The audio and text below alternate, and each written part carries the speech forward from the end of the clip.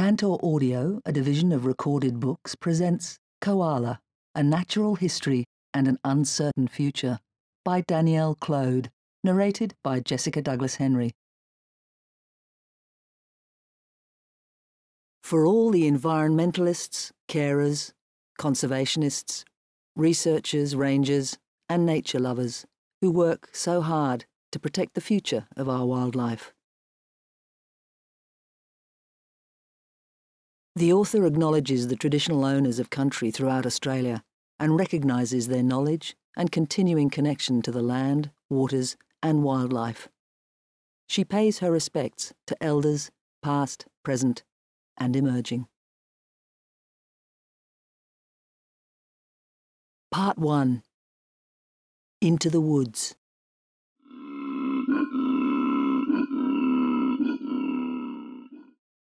cool breeze ruffled the koala's fur, causing her to stir in her sleep.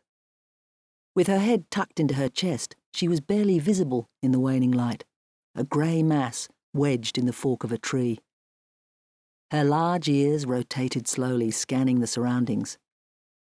She lifted her head, eyes still closed, breathed in the dampening night air, and let the sounds and smells of evening wash over her.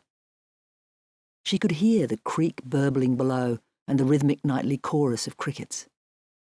The frenetic noise of the day had subsided.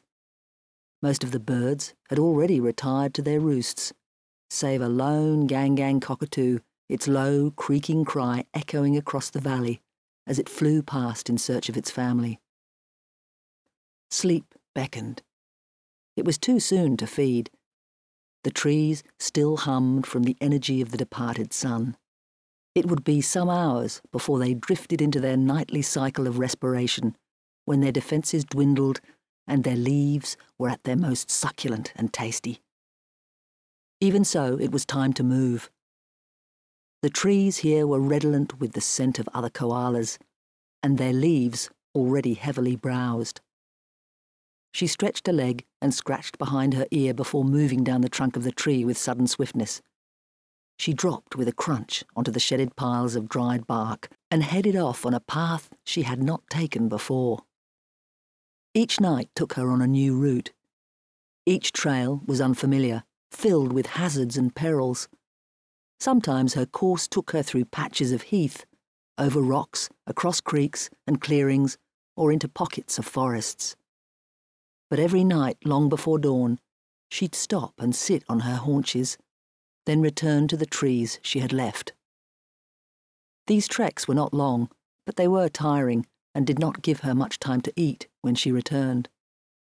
Sometimes she was forced to eat during the day when the leaves were sharp and bitter.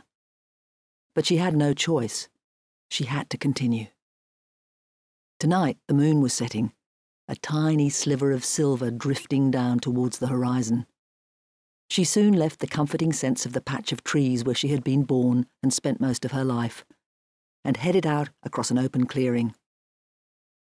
It was easy travelling, at least, even if she was vulnerable to the silent swoop of powerful owls.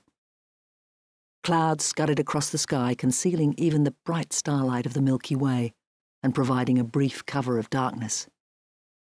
The vegetation thickened into heath, and she wandered between the bushes, weaving an unsteady path until the heath gave way to low scrub.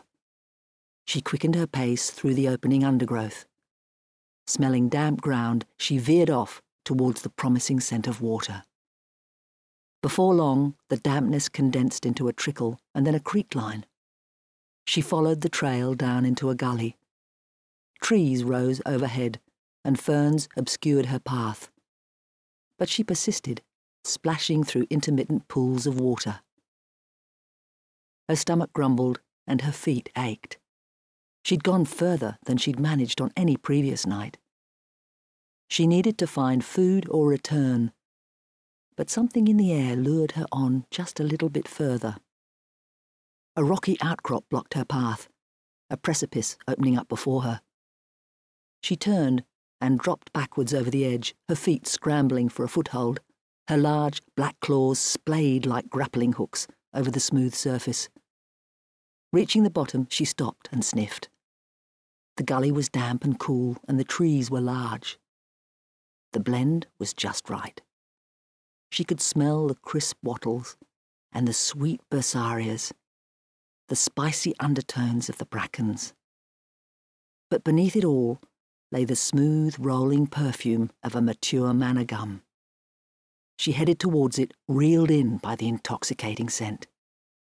Bark and leaves crunched beneath her feet as she approached the old tree, rising vast and broad above her. She stretched up on her hind legs, her forearms wide against the tree, taking short, deliberate breaths. Something was missing.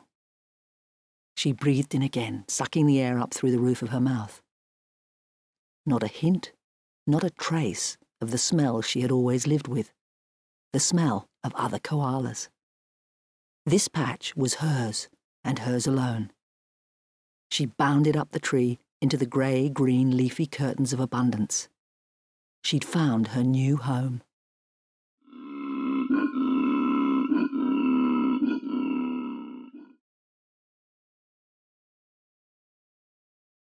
Chapter 1 Koalas Rare and Plenty. Late one night, as I'm driving home from a meeting in town, a koala crosses my path. Its furry white rump sachets casually in the sweep of my headlights as I round a bend in the road. I slow the car to a halt and lower my high beam, waiting for it to cross. The koala pauses, sits down in the middle of the road, and looks over its shoulder as if glaring indignantly at my impertinence. I check my rear vision mirror for approaching traffic. It's a quiet area, but I don't want to be sitting on a blind corner on an 80 kilometre an hour rural road and I am impatient to get home. I inch the car forwards, hoping the koala will move, but it looks away and doesn't budge. I can tell from the angle of the fluff on its ears that it is listening carefully.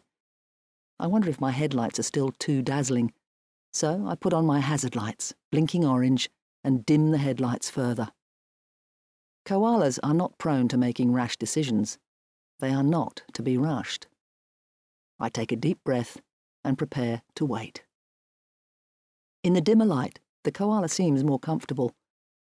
It eventually rises onto all fours and, without a backward glance, saunters off into the roadside vegetation, unhurried and apparently unperturbed. I drive the rest of the way home more slowly. This stretch of road is full of wildlife.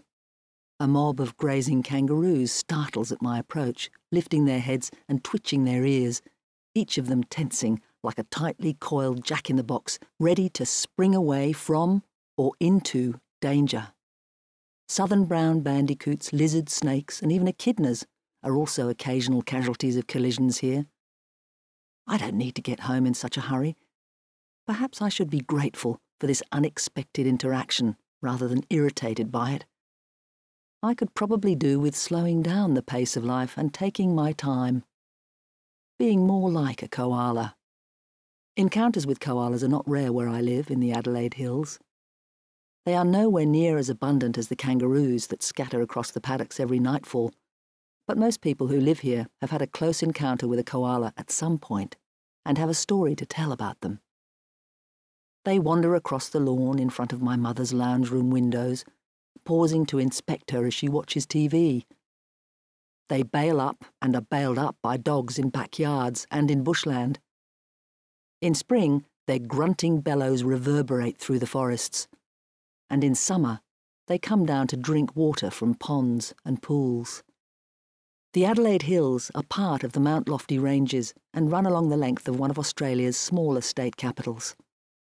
Modest farm holdings are interspersed with growing commuter townships and the swathes of remnant forest protected in conservation parks or reserved for forestry and water catchment. It's an area rich in biodiversity and wildlife, but it has not always been home to koalas. When my parents grew up in Adelaide, they never saw koalas in the wild. Instead, they visited the koala farm in the city parklands to see a regular crop of young joeys alongside high diving seals, buck jumping pigs, pythons, and kangaroos. After the koala farm closed, people travelled to Cleland Wildlife Park in the hills overlooking Adelaide to watch, photograph, and hold koalas. I ask a neighbour who grew up in this area of the hills whether she remembers koalas here in her childhood. She shakes her head. I spent most of my time riding my bike and exploring the bushland, she says, but there were no koalas here 50 years ago. We often went blackberrying through the Adelaide Hills in the 1940s and 50s and other friend ads, but we never thought that we could see koalas in the trees. Koalas are largely native to the eastern mainland states. Their natural range stretches from North Queensland, across New South Wales and down to Victoria, with just a small pocket jutting into the far southeastern corner of South Australia. At one time or another, I have lived in and around the forests of Queensland, New South Wales, and Victoria, but I never saw koalas there in anywhere near the abundance I've seen them here. Friends who live on the eastern coastline tell me that sightings in the wild are rare there. Most of them have only ever seen koalas in zoos and parks.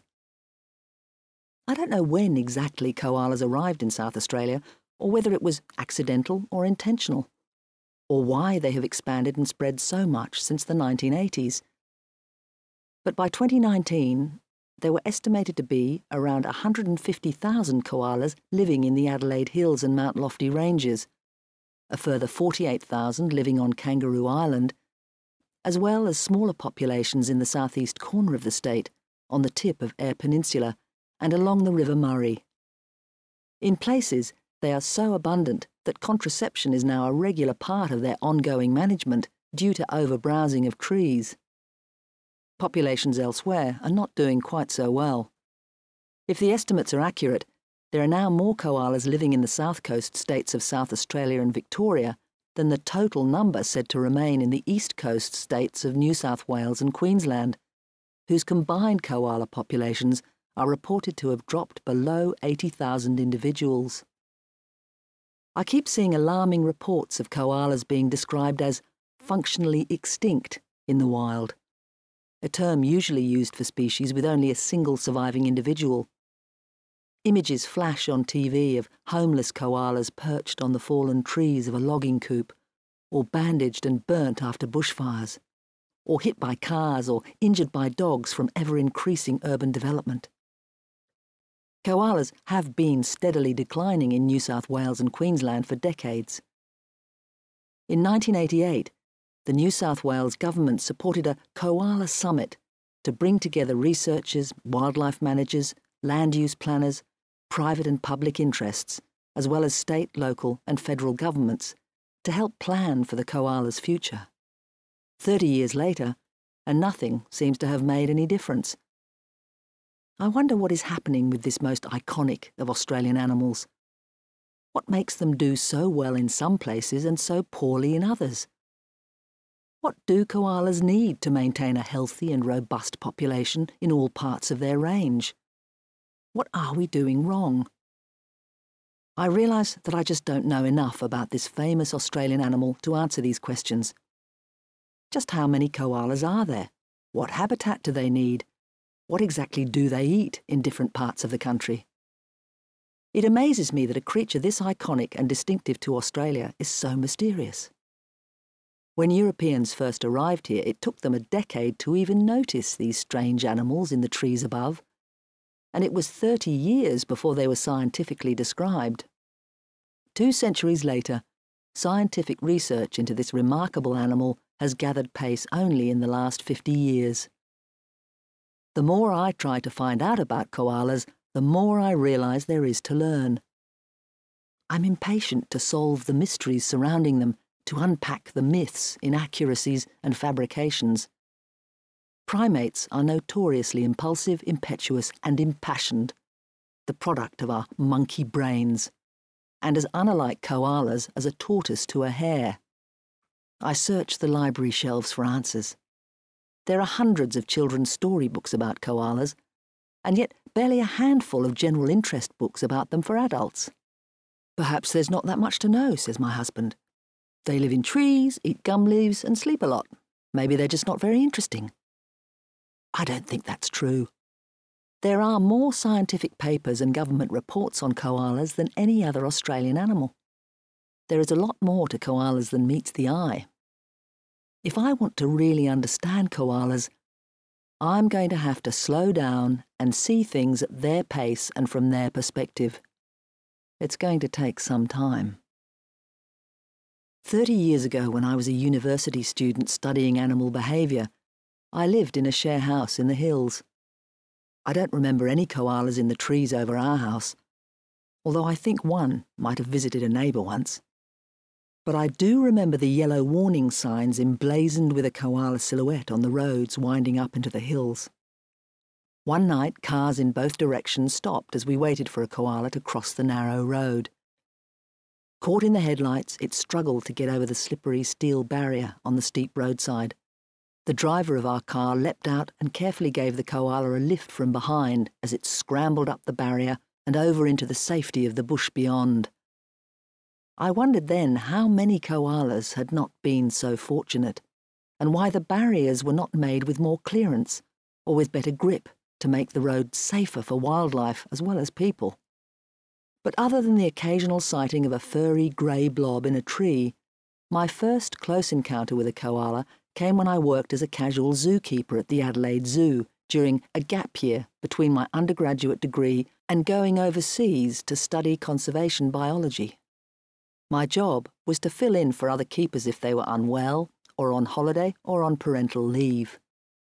That role took me across many different rounds, working with a wide range of birds and mammals, from the fennec foxes of Saharan Africa to the colourful macaws of the South American jungles. The Australian animals were the zoo's centrepiece. The first thing people saw when they arrived was a large, rocky cairn, attractively draped with a colony of exquisite yellow-footed rock wallabies, whose rescue from imminent extinction through captive breeding, habitat protection, and reintroduction has become one of the zoo's great success stories. I learnt how to look after echidnas who trundled busily around their enclosures like small spiky tanks, ignoring the noisy prattle of fruit bats roosting above them. I prepared seed mix and chopped vegetables for the secretive stick nest rats. Flowering gum leaves, chopped fruit, and a bit of boiled egg for the brush-tailed possums. And mealworms, mice, and fly pupae for the feisty little kowari. I boiled carrots for the cassowaries fed fish to the little fairy penguins, and weighed tins of specially mixed seed for the parrots. I cleaned, swept, raked, and shovelled, carted and carried, rinsed and scrubbed. If there was extra time, we worked on strategies to distract the hyperactive Tasmanian devils from pacing, or flooded the magpie goose enclosure to encourage nesting. The koalas, though, were one of the easiest animals to care for always amenable to being displayed, they would happily sit in the freshly cut gum branches brought into their enclosure each day to adorn the stags or trunks of large old trees that formed the structural framework of their exhibit. They never trashed their enclosures, like the destructive red-tailed black cockatoos, or disturbed prudish visitors with antisocial displays of promiscuity or violence, like the monkeys and baboons. They were easy to clean up after, only the gardeners complained about their insatiable demands for a variety of fresh gum leaves. And they were entirely unperturbed by the steady stream of adoring admirers parading past them. There were almost never any vacancies on the koala round. They had a steady stream of adoring keepers, too. Not everyone loves koalas, though. The internet is full of stories about how koalas are nowhere near as cute and cuddly as people think that they are aggressive, that they smell, that they wee on you, that they are feral pests destroying forests. They are described as slow, torpid, simple, small-brained, primitive, degenerate, overspecialized, inbred, disease-ridden, and maladapted. In the past, we have hunted them to near obliteration, and every day we continue to ruthlessly cut down their trees, clear their forests, fragment their habitat with roads and fences, and replace their homes with our own. Maybe that's easier to do if you think they are doomed to extinction anyway. The internet may not always be the best place for accurate information, but the conflicting perspectives on koalas reveal a broader ambiguity in our attitudes towards wildlife. Koalas can be both affectionate and aloof, beloved and belligerent. They are neither bears nor soft toys. They are simultaneously threatened with extinction in some regions, yet dying from overpopulation in others. They are vulnerable to climate change, deforestation, disease, habitat fragmentation, bushfires, overdevelopment, forestry, dogs, and cars. They are both a symbol of Australia's unique wildlife and emblematic of the devastation we have wrought on so many species. In 1938, wildlife biologist Ellis Troughton was certain about what the future held for koalas. No one can doubt that ultimate extinction awaits the gentle and highly specialised leaf-eating koala, he declared. Koalas face many challenges, but I wonder if we are underestimating the achievement and resilience of this species. They are supremely well adapted to their environment. The koala is one of the few species that has managed to exploit the foliage of the eucalypt trees which dominate Australia's modern forests. Unlike the 34 mammal species that have become extinct in Australia since European colonisation, koalas have not only survived, but expanded and thrived in parts of Victoria and South Australia. They may well be one of the most loved and best known icons of Australian wildlife, but they deserve better than to be simultaneously patronised as fluffy children's toys and left to suffer from increasing diseases in ever reducing habitats. Surely they warrant our care and attention, for us to focus on what they are, how they live, and what they need. Who they are as animals. There is so much more to know about koalas than just a sweet face on a postcard. Their history, evolution, biology, ecology, their interactions with humans and other predators, where they have come from, and what their future holds. This audiobook is their story. Part 2 From Fossils and Bones.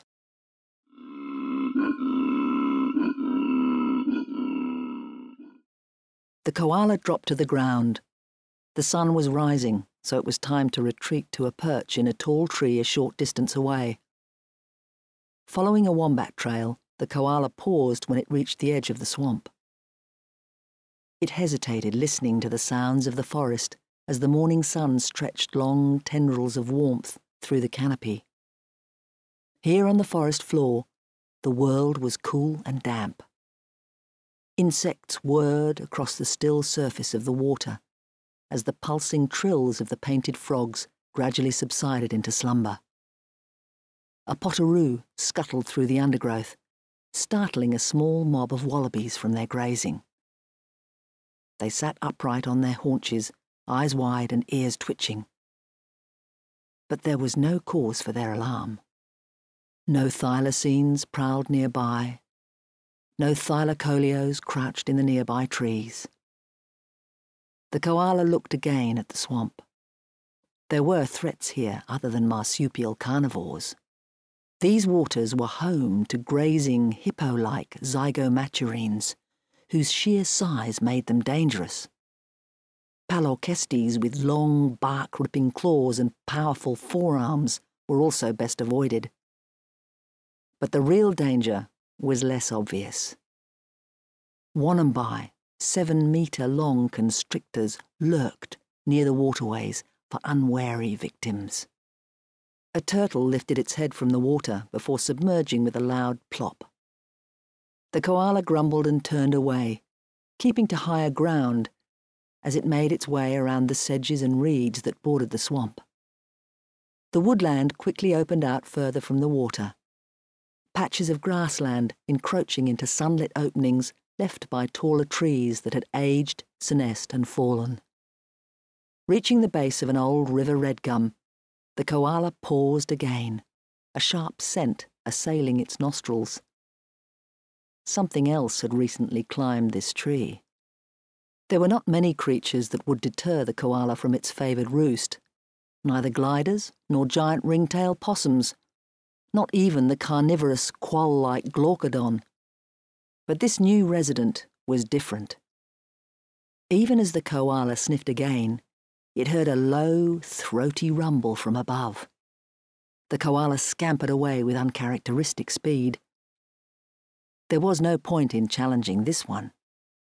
The new resident was an entirely different species of koala, far bigger and more robust, literally twice the height and heft. A giant among koalas. A young manna gum beckoned nearby. It was a poor substitute for the big red gum. The displaced koala scaled it quickly, content to find it unoccupied, at least by any others of its kind, and settled into a convenient fork to sleep, its nostrils detecting only the cool, reassuring aroma of eucalyptus.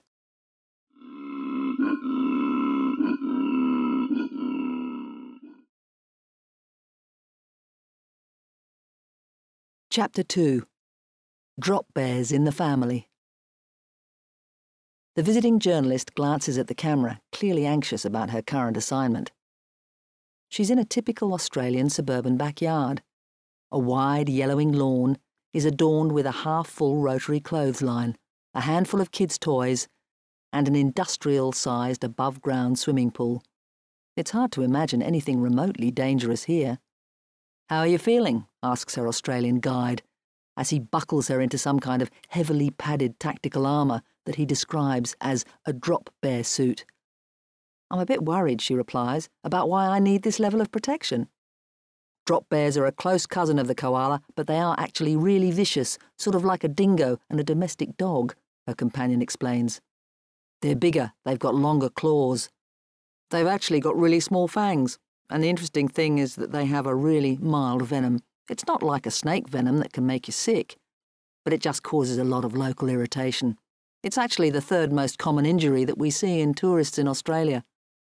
The reporter looks terrified as they buckle her into boots, leather gloves, and protective eye gear. She's from Scotland, where the fiercest creature you might encounter is the odd wildcat.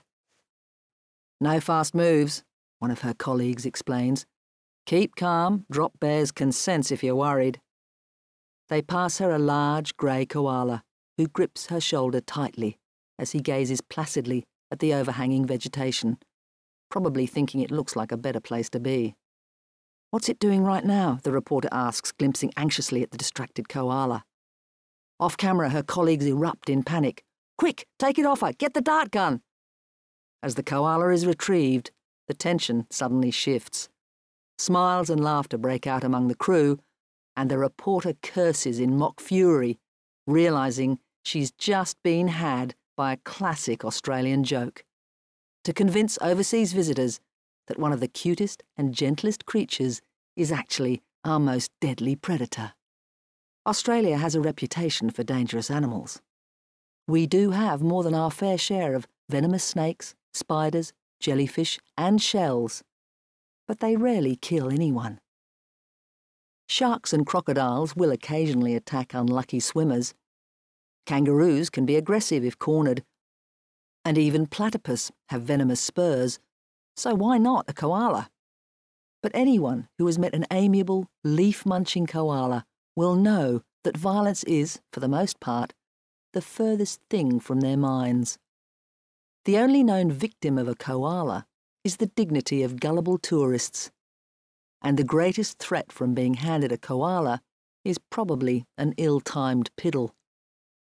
The origin of the drop bear myth is a bit of a mystery. Some people have suggested it's a primeval memory of a prehistoric marsupial lion, Thylacoleo carnifex, that lurked in ancient trees to ambush the unwary. But the joke seems to have gained most popularity in the 1980s after Paul Hogan faced killer koalas in a precursor TV skit to his famous Crocodile Dundee character. Even so, it is fair to say that if a giant or carnivorous koala ever did exist, the one place we might find it would be in the distant past.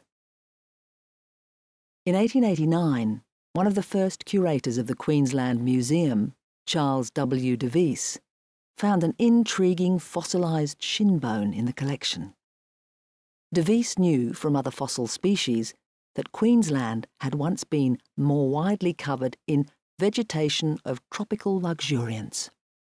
While the forests on Australia's east coast today, and the animals they support, are largely restricted to the coastal fringe east of the Great Dividing Range, in the past, this forested area spread further west into the now arid inland plains. So, De was surprised by the lack of fossils of tree-dwelling animals, like possums and, more particularly, koalas, evidence for which he had long waited and searched in vain.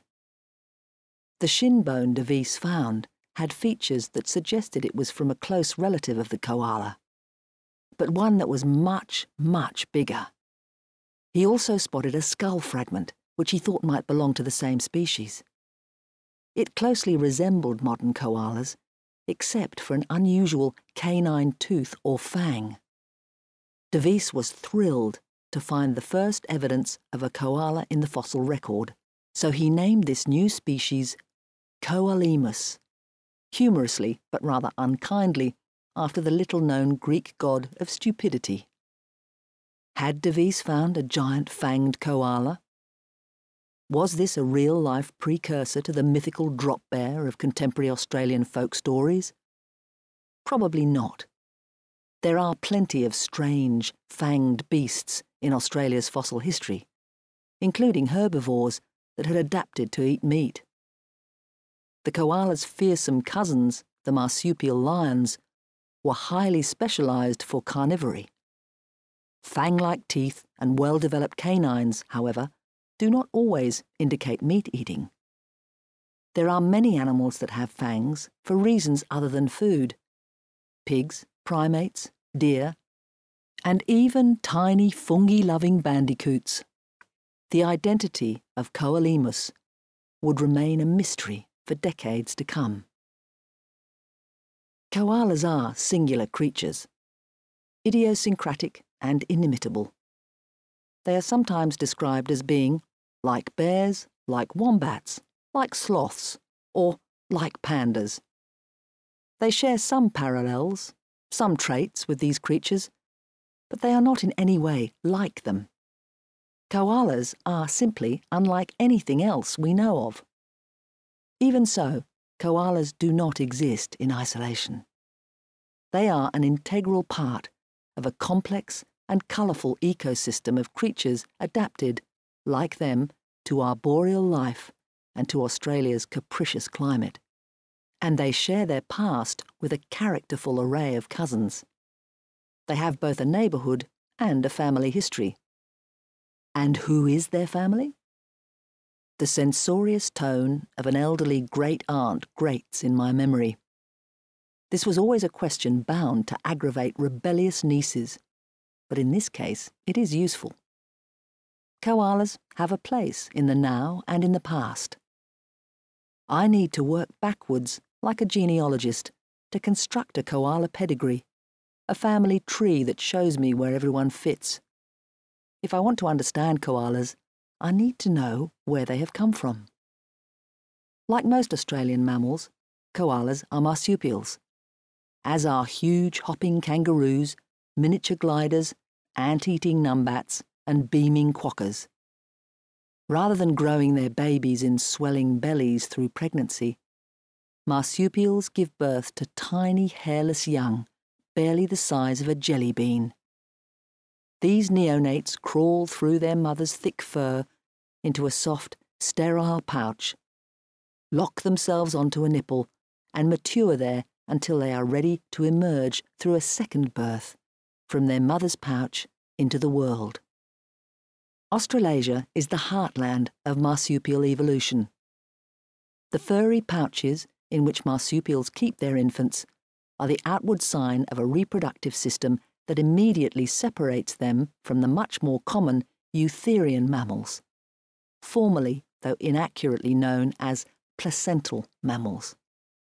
Of the over 300 marsupial species living today, more than two thirds are native to the once connected landmasses of Australia, New Guinea, and their associated islands.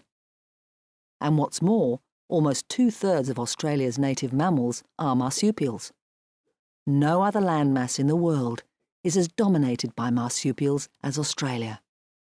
Even so, marsupials are found elsewhere.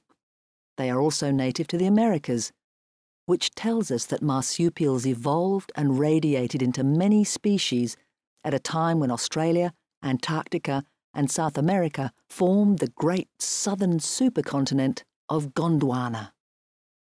I know there is some kind of a possum in North America, although I don't know much about it. An old friend visiting from Louisiana was less than enthusiastic about them. When we lived in Victoria, she was delighted by the kangaroos on our lawn, and seeing a koala in the wild was on her wish list. But when I offered to show her our possum nest boxes, she screwed up her face in disgust. Possums are ugly, she announced. How can you say that? I asked, astonished. Possums are lovely. Soft fur, big eyes, and long tails. We have uh, opossums at home. They're just giant rats, she declared, shuddering. Come and see these ones, I said. Then you can tell me if you think they look like giant rats. We'll have to be quiet. We carried the ladder to one of the nearby gum trees and rested it beneath the small wooden nest box. Our nest boxes were in demand and often on high rotation, variously occupied by a range of lorikeets, rosellas, nightjars, possums, gliders, and phascogales. For once, I hoped that the brush-tailed phascogale was not in residence.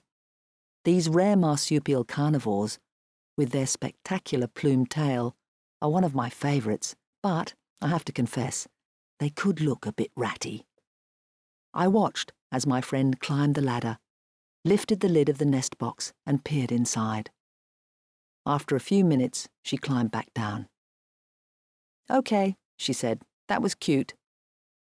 The box was crammed full of sugar gliders, their tiny striped faces with big eyes blinking, their gliding membranes wrapped between them like a soft, fluffy quilt. Opossums are nothing like that, my friend admitted. It's really not fair to judge marsupials on the only member of the family to have expanded into the Northern Hemisphere without human assistance. But many people do, even scientists. I suspect the Virginia opossum is responsible for many of the generalizations and assumptions about marsupials. It hardly even does justice to the great diversity of opossums living in the rainforests of Central and South America. I had no idea there were so many. Water opossums, pygmy opossums, and mouse opossums.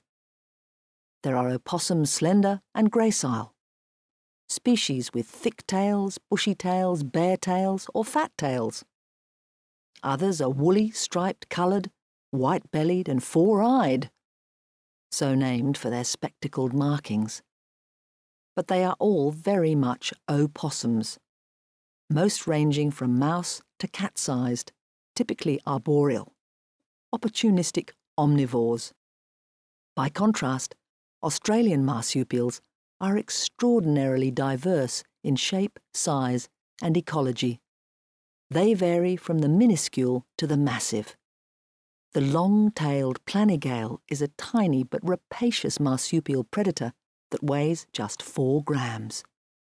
One of the smallest mammals on Earth, at barely a quarter the size of a house mouse. Living in the black soil plains of northern Australia, their flattened and elongated skulls allow them to squeeze between the cracking clay to hunt spiders, centipedes, lizards, and even mammals larger than themselves. At the other end of the scale stands the red and grey kangaroos. Taller than a human male, with their distinctive bipedal stance, some weighing up to 90 kilograms. From rainforests to arid deserts, from underground burrows to treetops, marsupials in Australia occupy all the ecological niches grazing, browsing, hunting, and scavenging, united only by the underlying biology that identifies their common ancestry. And the specialist leaf eating, tree dwelling niche, occupied by sloths, lemurs, and monkeys on other continents, is filled in Australia by the koalas and possums. The Australian marsupial family tree splits into two distinct groups. One side includes bilbies and bandicoots, and marsupial carnivores like quolls and the Tasmanian devil. It also contains some oddities the stripy little ant eating numbat and the sand swimming marsupial mole. On the other side is a much larger and perhaps more familiar group, which includes all the many kangaroos, potoroos, possums, and gliders. From here, the 70 or so species of possums, gliders, and cuscuses split away, along with another 60 or so species of kangaroos, wallabies, and potoroos, the bulk of Australia's most visible and abundant species. And we are left with a family that is few in number, much less common, and less likely to be seen. These are the Vombatiforms, a group that today comprises three wombats busy burrowing underground and, sitting all by itself, high up in the branches, the solitary koala. Wombat burrows are incredible architectural constructions. Up to 30 metres long and several metres deep, they are vast underground labyrinths built by multiple generations of wombats, the latest of which sometimes guard their ancestral homes with bad-tempered aggression. In 2018, a group of third-year zoology students from the University of Melbourne set up a camera to record overnight activity at an entry point of a common or bare-nosed wombat warren. A wombat duly emerged from its burrow for a minute or two, then returned inside. A couple of minutes later, another animal appeared. It was not a wombat, though. This time, a koala emerged from the same burrow, sniffed the ground where the wombat had just been, and then ambled off. It was an observation that surprised even the student's supervisor, Dr. Kath Handyside, who had been studying koalas in the wild for over 40 years. Camera traps are amazing tools that allow us to peek into the lives of shy nocturnal marsupials, she explains. Sometimes they reveal things we never dreamed would happen. As to what the koala, an almost entirely arboreal animal, was doing down a wombat burrow is anyone's guess. But Kath doesn't think the koala and the wombat crossed paths.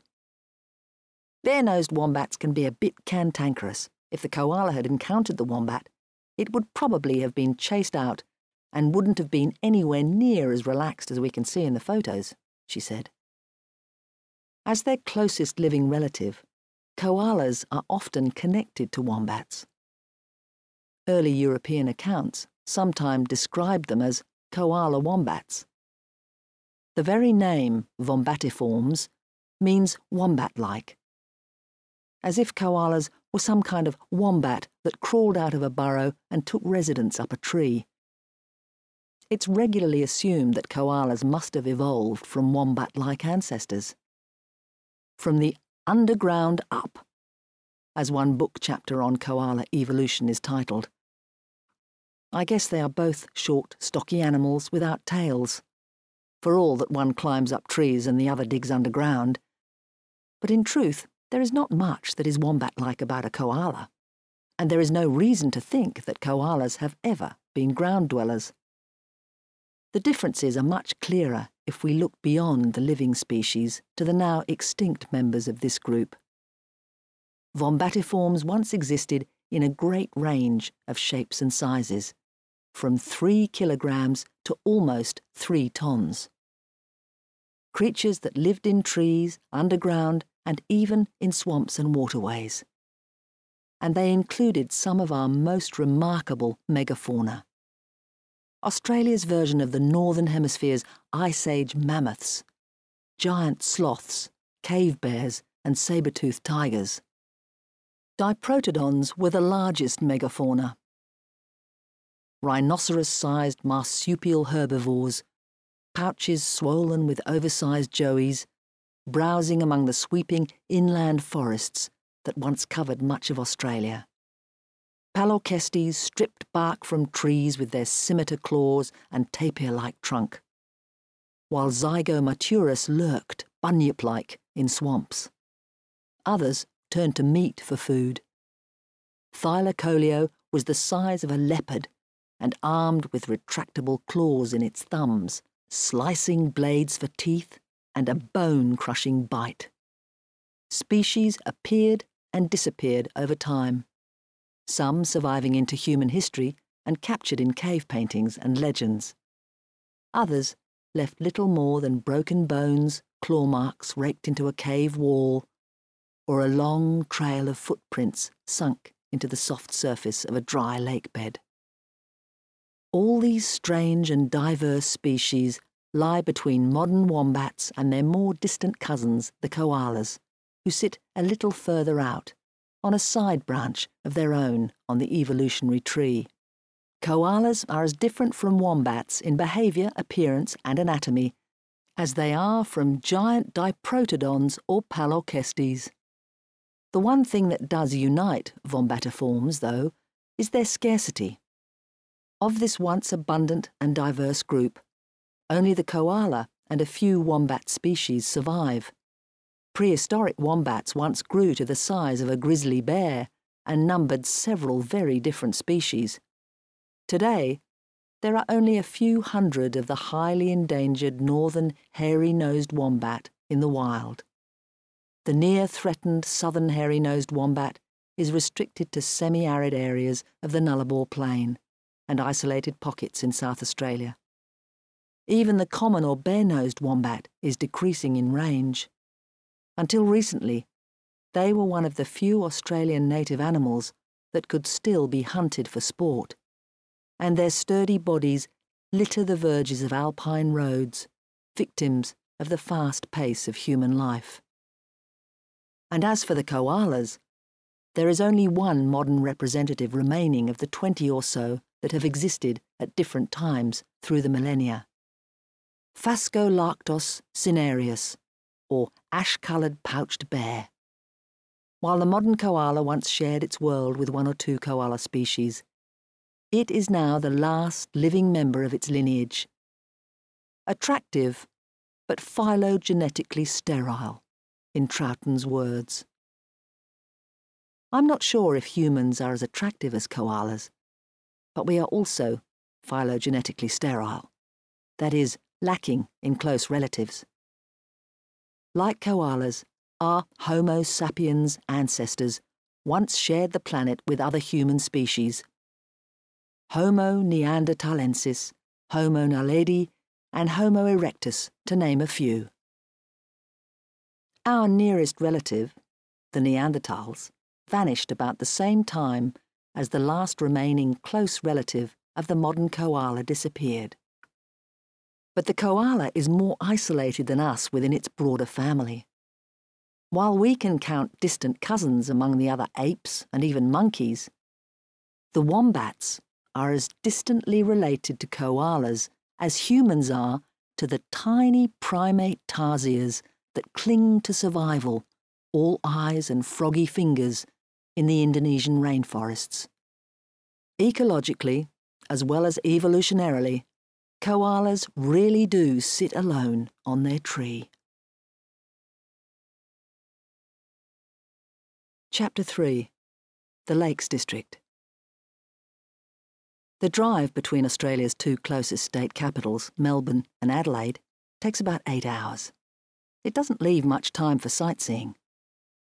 Every year, as we travelled from one city to the other to visit family, I'd watch as places I wanted to visit zoomed past my window at a hundred kilometres an hour. Look, there's the giant koala, I'd say to my children each time we passed Dadswells Bridge. They'd lift their heads, glance out of the window, then murmur something non-committal before returning to their screens and books. The 14 metre high bronze and steel koala towered by the roadside, marking the gateway to Gariwerd or the Grampians. A relic of the fashion for giant landmarks in Australian country towns.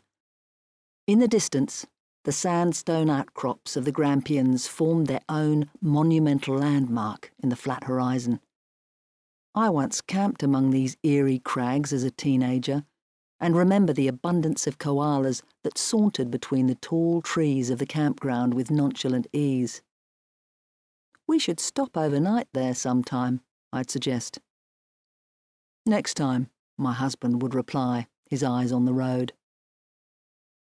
The oldest fossil record of a koala, or Phascolarctidae, is 24 million years old, around the change from the warmer Oligocene age to the cooler era of the Miocene.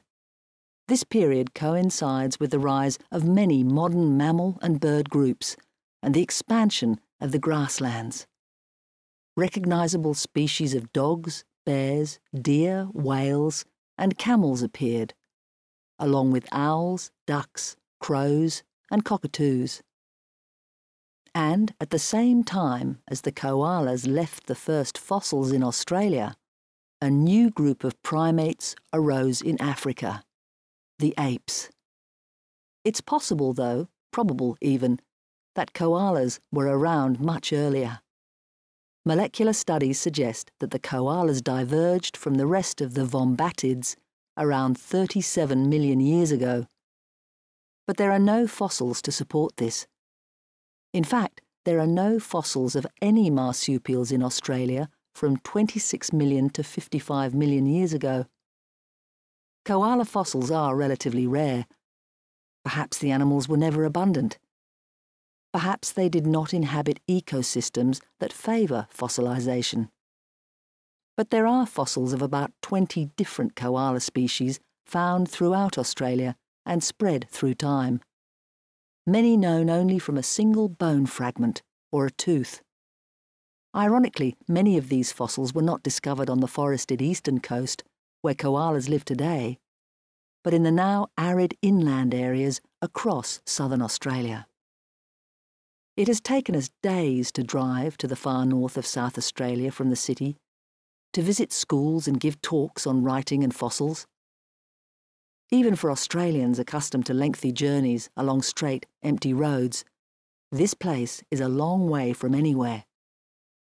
The horizon stretches all around, completely flat with nothing to disrupt the perfect sphere of blue sky above, sliced through by the disk of red earth below.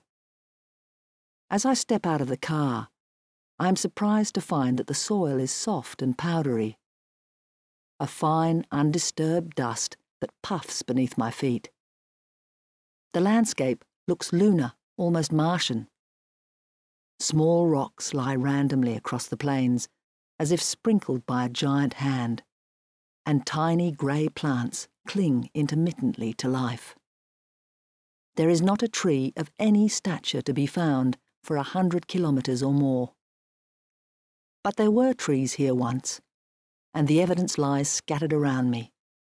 Fragments of fossilised wood are on the ground, broken logs that look exactly like wood until you pick them up and feel the weight of stone. Some areas look like fallen forests, others as if the timber had been washed out to sea, then dropped on the ocean floor where ancient seas receded and dried out. It is not just the traces of trees that speak of a lost world. Reminders of a well-watered past lie in vast, glittering slivers across the flat surfaces.